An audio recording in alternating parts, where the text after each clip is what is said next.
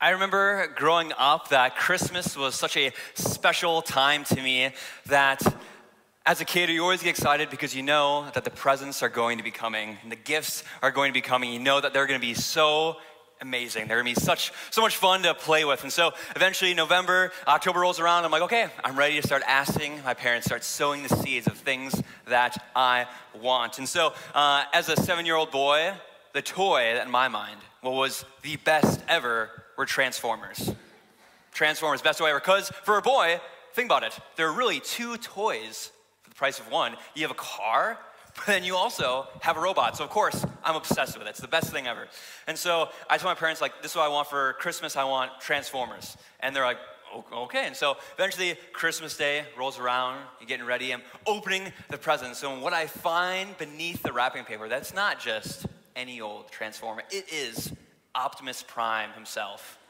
Ooh, yeah, I know. Oh, yeah. Actually, I was expecting more oohs. Optimus Prime, in case you don't know, the leader of the Autobots, the most powerful transformer there is. He is something to behold. But it wasn't just regular Optimus Prime. It was the full Optimus Prime that was the semi, the semi truck, and it was also him that he had his trailer, that had his command center and all of his gadgets and gizmos. That it was really something magical for a seven year old brain that I couldn't really comprehend what was really going on. That I just asked my parents for this, um, for this gift, and they'd give me something um, that was hard to really comprehend. That when I asked them, that, that there was just this base trust that my parents would give me this gift and I would receive something amazing. And I did. I received such a good gift. And it was actually for us through prayer that we're able to do somewhat of a similar thing, that we're able to connect and we're able to communicate with our Heavenly Father, that we're able to go and to ask Him and um, for gifts for ourselves, and we're able to receive them as well through His goodness and through His graciousness. And today we're going to be talking about this idea of what does it look like to ask and receive gifts from our Heavenly Father as we continue our series on the Sermon on the Mount. So, uh, thank you for being here. My name is Pastor Garet. I'm one of the pastors here on staff at Spring Lake. Usually, I'm at our downtown campus. Um, so I'm over our student ministries and our young adult community is here. And so if you haven't seen me um, here at Bellevue, I've been preached here for about almost two years. And so I'm glad to be here. Um, and so there's probably a lot of faces that you're like, I don't know who this strange young man is on the stage, but I'm glad you're here. For those that are viewing us online, I haven't seen you in almost two years, so it's good to see you as well. Um, but um, before we continue, uh, let me pray for us this morning. Lord, we thank you just for this opportunity that we can slow down and we can really dive into your word this morning. That we can push out all of the distractions um, that are in our life, maybe some of the anxieties that are gripping our heart, that we can just come here and we can place them at the foot of the cross and we can just learn from your precious word this morning. Lord, I just pray that you just soften our heart and open, your, open our ears to what you have us, for what you have to say to us this morning. We pray this all in your name. Amen. So, the main idea that I want to be tackling in this passage is that when we pray, our holy heavenly Father hears and gives good gifts. That when we pray, our holy heavenly Father hears and gives good gifts. And I believe that Jesus has three instructions that he wants to give us today um, about praying to our Father. And so we're going to be in Matthew 7, uh, verses 7 to 12. So you can turn in your Bibles or turn on your Bibles. Uh, you can go to the YouVersion Bible app and go to the events, and you can uh, go and there's Spring Lake Church, uh, Bellevue and downtown. Don't go to down. Don't, don't go downtown. Go to Bellevue and come uh, and you can go there. Um, but give me just a little bit. I'm gonna take this off because it's distracting. So technical difficulties. That's okay. That's why we're here. Because God is in control, that He is bigger than any uh, distraction that's going on, any technological difficulty, that we serve a wonderful, big God. So um, let me read for us today. We're going to be starting in verse 7, going through verse 12. It starts Ask, and it will be given to you. Seek, and you will find it. Knock, and the door will be open to you. For everyone who asks receives, the one who seeks finds, and to the one who knocks, the door will be opened. Which of you, if your son asks for bread, will give him a stone? Or if he asks for fish, will give him a snake? If you then, though you are evil, know how to give good gifts to your children, how much more will your Father in heaven give good gifts to those who ask him? So, in everything, do to others what you would have them do to you, for this sums up the law and prophets. And so, Jesus starts out this section of text with this kind of this repetitious wording ask, seek, knock, receive, find, knock, open, door. And it can kind of feel a little confusing and a little bit overwhelming of like, okay, what is going on? Who am I asking? What am I trying to seek? What am I going to find? Where's the store? How loud do I knock? What exactly should I be doing? But I don't think Jesus wants us to see a coded message. He doesn't want us to see, like, ooh, hear all these words. And what does it actually look like to ask? And what and how, how should i seek? And what does it look like to knock? That these are not different types of prayer um, that we have to do. But i think what jesus wants us to see is that he's this whole all of it is talking about prayer generally. And that it's not about figuring out and doing all these specific prayers but instead he wants us to see what is actually happening with the prayer that these prayers are being fulfilled. For the one that asks they receive. For one that seeks, that they find. And for the one that knocks, the door is open. That every time someone goes forth in prayer, that the prayer is then answered, that there is, uh, comes to fulfillment. But we see that um, for our prayers, the same way, that if we aren't praying at all, that there's not a way that our prayers are going to be fulfilled. It brings me to my first instruction that we must communicate with our Father, that we must communicate with our Father, that putting it simply, we need to be praying. That Jesus is not trying to convince them that they should be praying throughout the Sermon on the Mount. Uh, this is the second time that Jesus is talking about prayer, and it's not as if Jesus is like, "Hey, um, this is I really want you to pray. I really think it's really important that you are doing it." No, he just when he talks about prayer in Matthew six, he says, "Hey, when you go pray, don't be like the Pharisees." There's already the assumption that his followers are going out and praying, and right now he's telling them, "Ask, seek." Knock, that they are doing these active verbs right now, that they are already going out and praying. Jesus is not trying to convince his people that they should be um, that they sh- um, that they should be praying. He already assumes that they are. And I know sometimes in our life, um, prayer can kind of fall to the wayside in the back burner. That it feels a little bit more like an afterthought in our lives. That we don't treat it with the importance of um, what it really is. I know for me, sometimes it's already once I'm in the middle of a project that I'm like, oh, shoot, like, hold on, let's like take a step back and now let me actually pray and bring God into the middle of it. Or it's like the project's already done and I'm like, oh, I did a great job. And then I'm like, ah, but I, I really should have I really should have brought God into the midst of what I am going through. But many times we don't. We treat prayers like that thing that, you know, you do it, you do it when you're at bedtime or it's around the dinner table or only when I'm really, really struggling. Then am I going to bring God into the midst of it. We don't actually see it as something that is so vitally important. It's the way that we are able to communicate with our Father. But prayer is so incredibly important to following Christ. Like I said, it's how we're able to communicate with the God of the universe. And as Christians, we like to use this language that, like, we have a relationship with God. Um, just like we have a relationship with um, a friend, we have a relationship with our God. But I would want to ask you if you were to take a step back and you would look at this relationship with God and compare it to a relationship, say, with your spouse, would you really consider your relationship with God to be a relationship? Let's just think about this. Imagine if you communicated with your spouse the way you communicate with God. You can imagine if you communicate with your spouse maybe only a couple times a day, where it's like, ooh, it's dinner time. Thank you for this wonderful meal. And then you don't say anything. or it's like bedtime and you lean and you roll over in bed and you say, wow, thanks for this awesome day. And you roll back over. Or imagine it's only when you really need something. You're like, ooh, honey, we really need milk. Okay, so, right? Or like, oh, hey, I'm really struggling. Can I talk to you right now? Or imagine if it's always talking and never listening.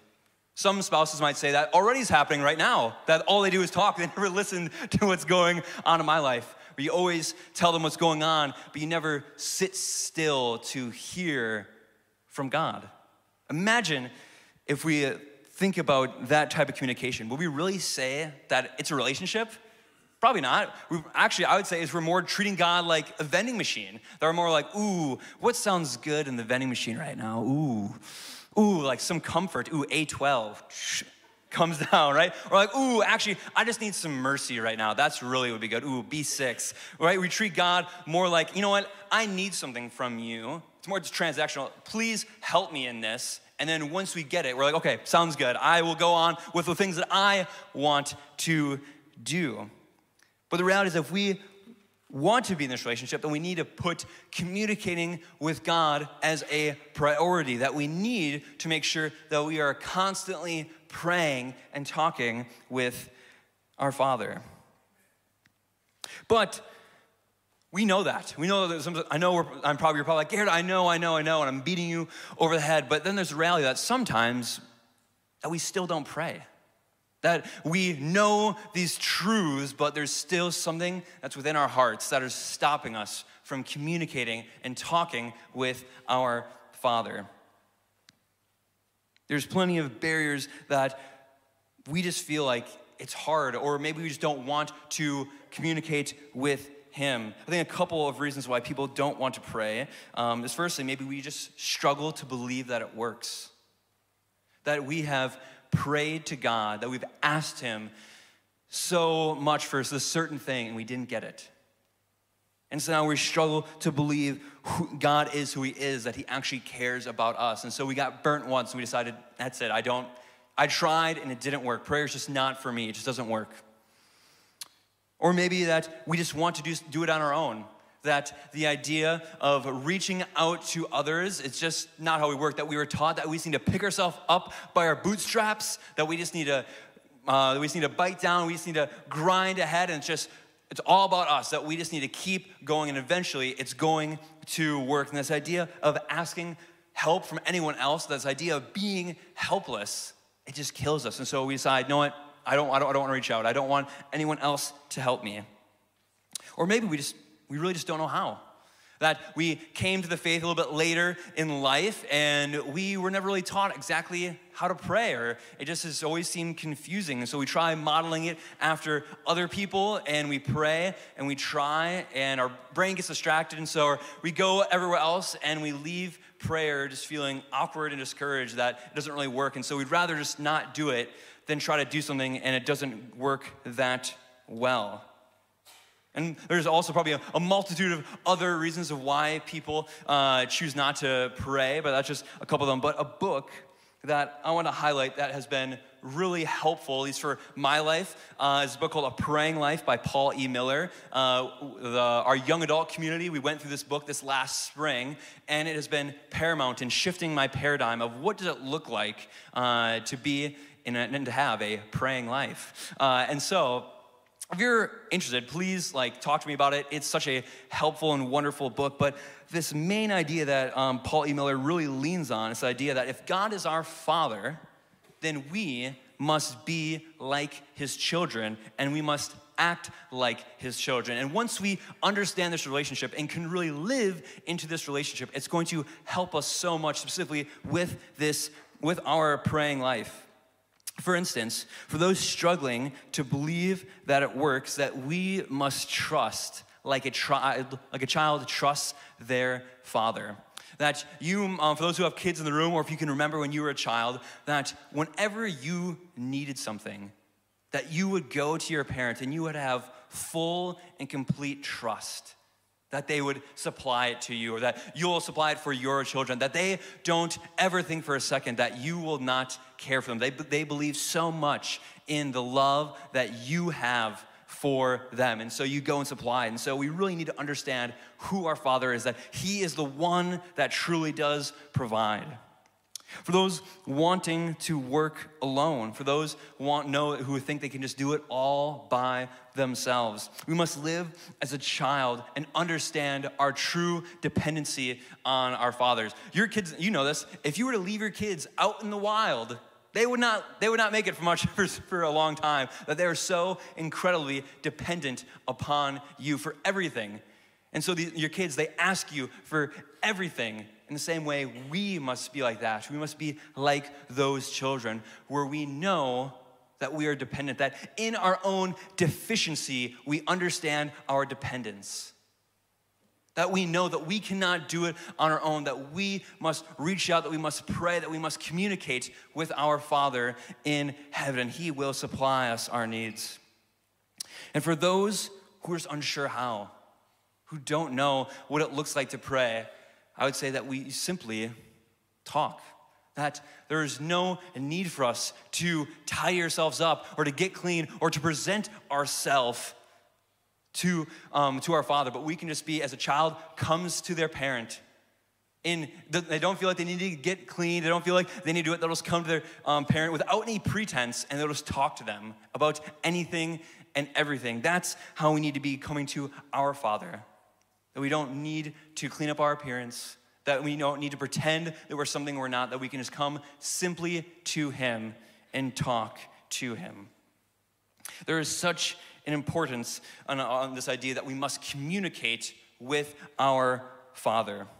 And Jesus follows up this ask, seek, knock with a hypothetical, which brings me uh, to my second instruction that we must remember the character of our Father, that we must remember the character of our Father. We're going to pick things up in verse 9. It reads, Which of you, if your son asks for bread, will give him a stone? Or if he asks for fish, will give him a snake?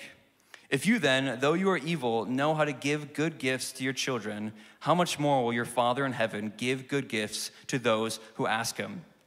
So Jesus starts off with this hypothetical. So I'm going to give it to you. Which one of um, which one of you parents, if your child comes up to you and he says, "Hey, I'm really hungry right now. Do you have any bread?" How many of them? How many of you would give him a stone?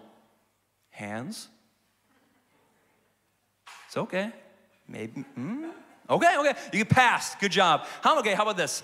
Maybe it's a Friday night. Your child comes to you and say, "Hey, let's let's go let's go get a fish fry right now. Let's go out. Let's have some fish." How many of you would instead maybe give them, say, a snake? Raise your hands. No one. What if they're really naughty? What if they've been really bad? Anything? Mm, okay.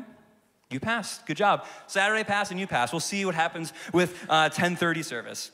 But Jesus, he goes, he, he goes and he uh, gives us hypothetical about which of you parents, like you have children, they have needs, and they come to you and they ask for these good gifts. How many of you are actually going to give them something bad? None of you are.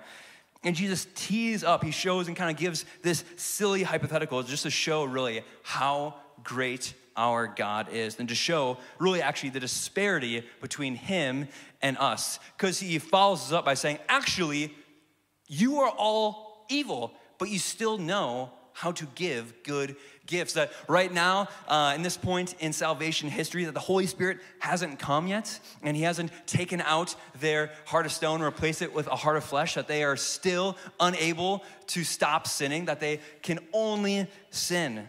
But even that, though that is true, that they're still able to give good gifts to their children. And this really points us all to the character of God, because Jesus says, imagine the types of gifts that our Father is going to give us. That we are evil when we give good gifts. Imagine what a good God, imagine the type of gifts that He is going to give you. That our God is so incredibly holy that He is set apart in every single category from us, especially morally. So while we are these evil creatures, that God is something transcendent that He is something different, that He is so beyond our comprehension. Imagine who that God is. Imagine the types of gifts that He is going to give. we see the beauty of His best gift that He has ever given us that comes through Jesus Christ and His work on the cross. In Romans 5 8 says, But God demonstrates His own love for us in this while we were still sinners, Christ died for us. That through his goodness and his love, it is demonstrated, demonstrated powerfully on the cross that Jesus died for rebels. That he died for sinful people that hated him. That that is just the great character that even though we are against him, his character shines brightly, that he is full of love and kindness, even to these rebellious people. That is the character of our God, and something that we have to fight to remember.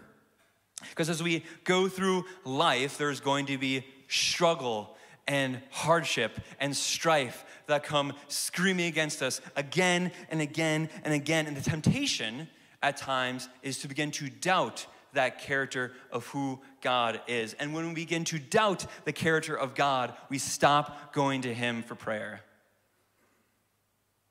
When we don't actually believe that He has our best in mind, that we're not gonna talk to Him, we're not gonna believe Him. The second that we're like, God, I actually don't know if you truly are good.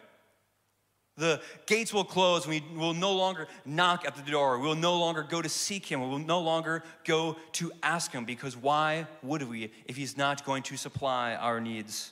And this is a real thing that we're all going to have to struggle with. I know this has been the struggle of mine this summer. In June of the beginning of June of this summer, one of my groomsmen, um, Ian, passed from cancer that he was 26 years old, diagnosed with pancreatic cancer last November, and throughout a long and hard fight, he unfortunately passed. And it's been the question of wrestling of like, God, why, why is this happening? Why are you doing this? Why are you taking away someone who is living for you and show and using his gifts and following you? Why are you doing this? And are you actually really good? Why would you take someone with so much so much life left to live and so much ability to grow your kingdom. Why are you going to do this? And the answer sometimes can be that we go and we become callous and we choose to forget and we choose to sit in anger. And when you are struggling through those hard things, it is hard. I don't want to downplay. I don't say we should jump immediately from being in pain and ignore it all and say God's good and happy, but we have to eventually move forward a psalm that was incredibly helpful for me for all Psalm 13. It reads, How long, Lord, will you forget me forever? How long will you hide your face from me? How long must I wrestle with my thoughts and day after day have sorrow in my heart? How long will my enemy triumph over me? Look on me and answer, Lord my God. Give light to my eyes, or I will sleep in death, and my enemy will say, I have overcome him and my foes will rejoice when I fall. But I trust in your unfailing love.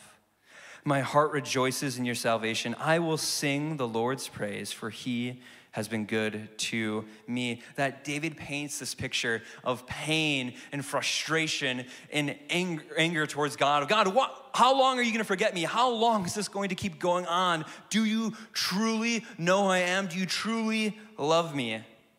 But David doesn't just sit there, and neither should we. We should know we shouldn't sit in anger and callousness towards God, but we should eventually move towards the remembrance of who God is. That David eventually he ends with, but despite everything that's going on, despite all these things around me that show that that point to me that you're not good, I will remember your character. But I choose to remember that you are good, that I trust in your unfailing love, for he has been good to me.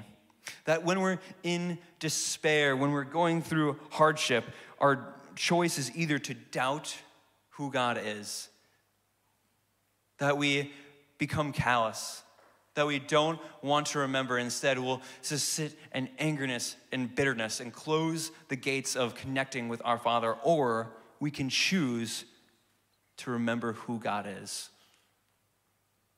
We can choose to remember how good He is. We can choose to remember everything that He has done. We can choose to remember the cross.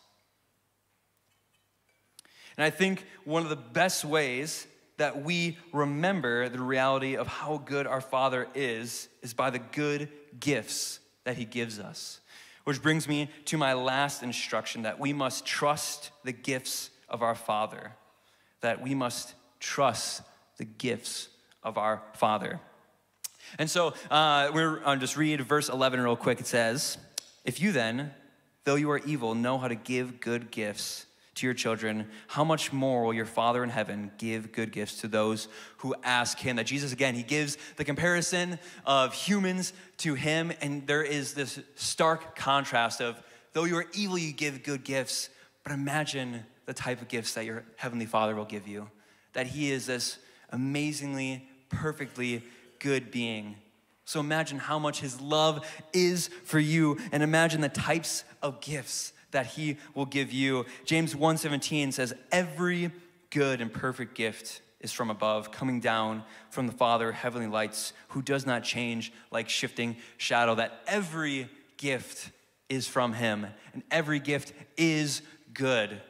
And you might say, ah, no, Garet, there's been things that God has given me that they have not been good, that they have been hard, and I do not know why God is giving them to me, that I actually don't see them as a gift.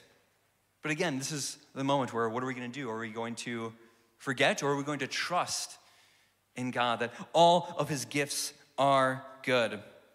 Here's an example. If your child comes to you and says, Hey, for dinner, I just want to have candy, what are you going to say? No, of course. You're gonna say, no, that's bad for you. I'm not gonna give you candy for dinner. I'm not gonna give you what you want because I know what's best for you. Or how many of you, if your child comes to you and they say, hey, I wanna do this thing that's gonna be really, really fun, but it's probably gonna be really, really dangerous. What are you gonna tell them? No, you're gonna say, no, I'm not gonna let you do that. Or they come to you and they're like, hey, uh, your 13 year old's like, hey, can I come and drive the car a little bit? You know, I've been watching you for a bit. I know exactly what we're gonna do. You're gonna say, like, oh, no, like, not yet, not yet. You'll have your time. Maybe in a couple years we'll start. Uh, but right now, it's not yet. I don't wanna give it to you right now. I wanna wait for you to mature a little bit. We know that's true for our parenting, but why is it when we are the children and God is our Father that we forget that truth? That we always want our prayers to be answered yes, and only yeses are good and no's are bad. Why is it that we forget these truths that actually God sees it all, that He sees the whole picture, that He has the entire scope of things? Why is it that we actually only want our prayers to be answered, but we actually don't want God's will to happen? And there are times when like I said, no's are hard. That we're asking for prayer, that we're asking, uh, we're praying for healing, if we're praying that people will come to be saved, and or we're praying uh, that we get the job, sometimes we'll get a no. And that is hard. But again, we cannot sit in anger towards God. We can't sit in being mad that God didn't answer our prayer. But we need to believe, we need to trust is that that's a good gift that God sees that those things will actually not be good for us, that He knows what is best for us, and that He has our best in mind. That when we pray for healing, pray for that job, that we need to trust in who God is, that we must trust the gift giver. That we must trust that He knows what's best and that He is going to give us a wonderful and good gift. And so, when you come to a situation and you are praying for something, you might get a yes. You might get a no. You might get a not yet. How are you going to respond? What is your gut instinct going to be? Is it to go up and shake your fists at God and be angry with Him that He didn't comply with your timeline, that He didn't comply with the way that you wanted, uh, the way that you wanted to run your life? Or are you going to trust in Him? Are you going to trust that He knows what's best for us? In the moment when you've been praying for that job for months and He says no, are you going to praise Him?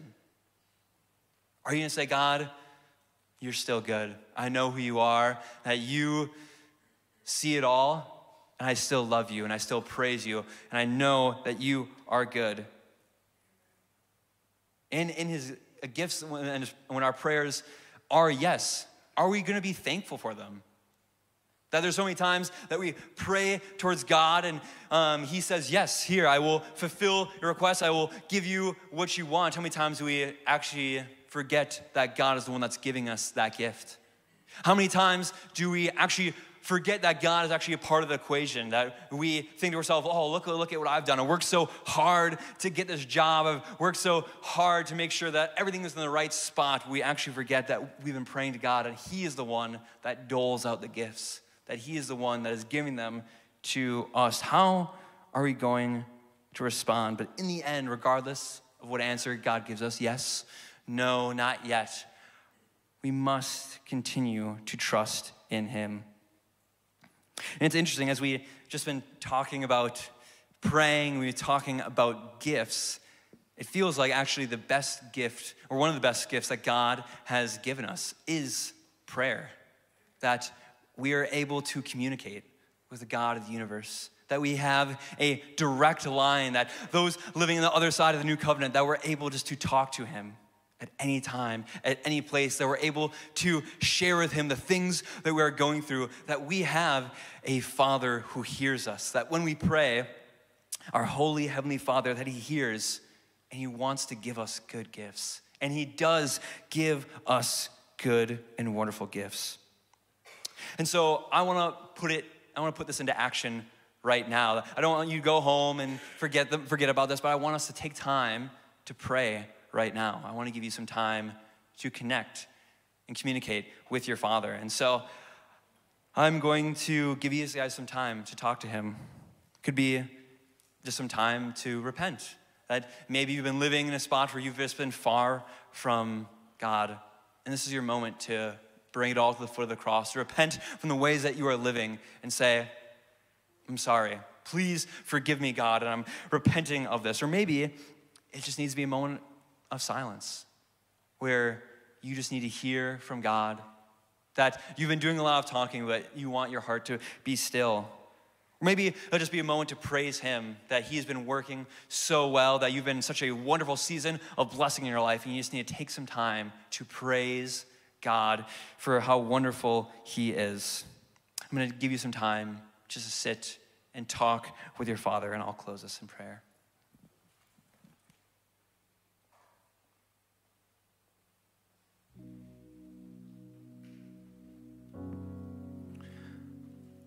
Lord, we thank you so much for the gift that prayer is. Lord, we thank you that you want to hear from us. Lord, that we're able just to talk to you about, in our mind, maybe the things that are insignificant in our lives and even the things that are the most important, Lord, but you hear it all and you care about it all. Lord, you care so deeply about your creation and about us, Lord. We're thankful just for who you are. So I pray, Lord, in the time when we're going through hardship, when we're going through struggles, that we would remember who you are and that we would trust your great and wonderful gifts. Lord, I pray that we would just remember how important it is to talk to you. That it's not just something that we relegate to a mealtime or before we go to bed, but we would make prayer a regular rhythm of connecting with you and connecting with our Father. Pray us all in your name. Amen.